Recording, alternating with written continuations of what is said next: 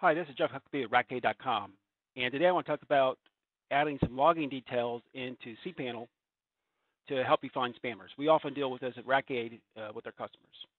So click into your WHM control panel, and what we're going to do is we're going to change the Exim logs to provide more detail when spam comes from locally on the server. So locally means web forms or anything that's sending email directly from the server. This is what we're going to change.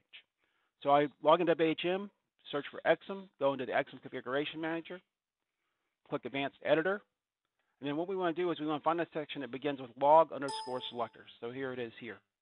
I just search for it. And then what we're going to do is we're going to replace the default that's in here with much more detail. What this will do is provide some useful information in our logs to help find spammers, particularly those coming from web forms. So as you can see, this is quite a bit more information. And I've posted this snippet on the, the blog post. So if you go over to our blog, check out this post, uh, you can find the details there. So after we put this in here, we're going to have to scroll down to the bottom here and click Save. And that will restart Exim and apply the configuration. Now, I want to show you a little example of sort of what to look for in logs once you've applied this. So I've pulled out a little log snippet here and sanitized it a bit.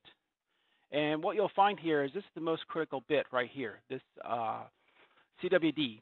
What this is telling you is where the script was that sent this email. So in this case, home example public.html, the script that sent this email is somewhere in there. And a great little thing to do is, is to grep your logs for CWD slash home, and you'll find a lot of listings. And if you happen to see a tons and thousands of hits, that's where the script likely resides, and you can look at that directory and hopefully find the spam. Hope this helped. This is another quick little two-minute tutorial and get the most use out of your cPanel server.